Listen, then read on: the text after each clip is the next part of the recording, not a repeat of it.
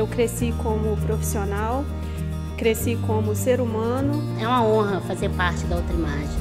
É um orgulho imenso trabalhar aqui. A Outra Imagem, para mim, é minha segunda família. Eu sou muito grata por fazer parte dessa empresa, onde realmente eu aprendi o verdadeiro significado de uma equipe.